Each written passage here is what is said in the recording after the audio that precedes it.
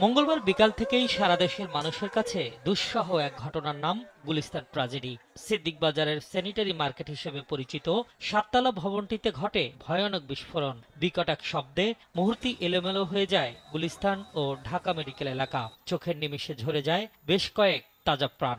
রক্তাক্ত হয়ে হাসপাতালে কাতরাচ্ছেন শতাধিক মানুষ। এখন পর্যন্ত মারা গেছে উনিশ জন। স্বজনহারা মানুষগুলোর কষ্ট আর চাপা কান্নার রেশ চারদিকে। কিন্তু চব্বিশ ঘণ্টা পার হয়ে গেল। কি কারণে এই দুর্বিষহ পরিস্থিতি জানা সম্ভব হয়নি? তবে সেটি খুঁজে বের করতে কাজ করছে পুলিশের counter terrorism and transnational crime unit, CTTC. বোমা নিষ্ক্রিয়করণ দল বলছে ভবনের বেসমেন্টে বিস্ফোরণ হয়ে থাকতে পারে। ধ্বংসস্তূপ আহত ও নিহতদের ধরন দেখে তারা মনে করছে বেসমেন্টের বদ্ধ কোনো কক্ষে গ্যাস জমে সেটি গ্যাস চেম্বারে পরিণত হয়েছিল। সেখানে যে কোনোভাবে স্পার্ক বা আগুনে স্ফুলিঙ্গ হওয়ার পরই ভয়াবহ বিস্ফোরণ ঘটেছে। এক্ষেত্রে সম্ভাব্য পাঁচ ভাবে গ্যাস জমতে পারে বলে ধারণা করছে তারা। ভবনের মাটির নিচে পানির ট্যাঙ্ক থেকে গ্যাস নির্গত হতে পারে।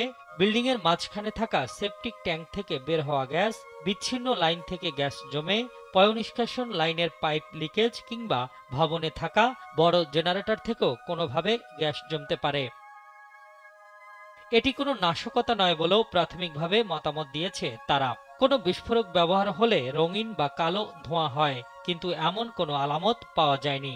ঘটনাস্থল থেকে উদ্ধার হওয়া লাশের আঘাতের ধরনও বলছে, এটি গ্যাস জমে বিস্ফোরণ হয়েছে।